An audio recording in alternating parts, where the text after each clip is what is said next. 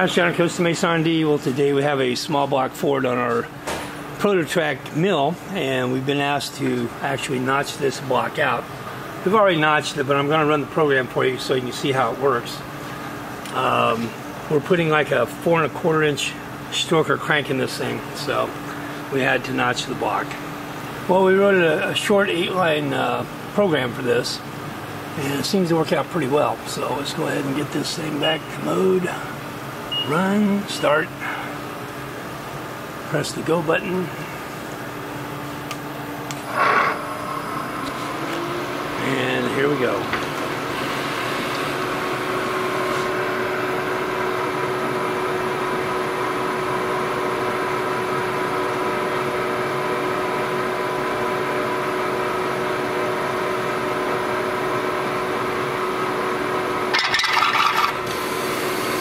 I say, we've already cut this, but I wanted to show you that the steps and how they go here.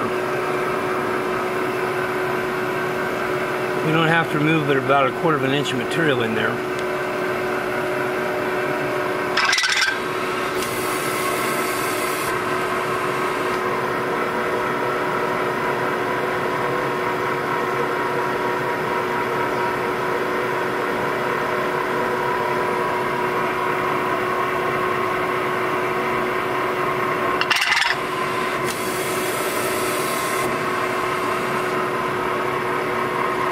Anyway, doing it here on the mill makes it a lot uh, tighter job than going in there with a hand file or a rotary grinder or something.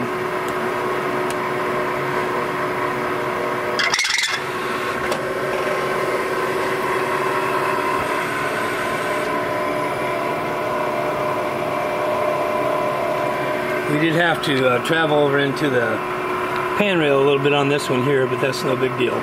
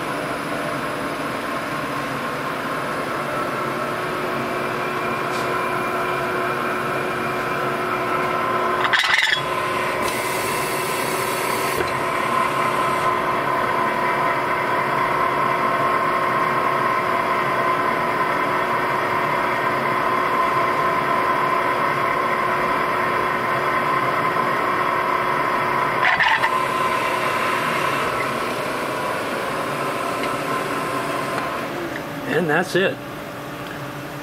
John Costa Mesa R&D. We'll see you soon.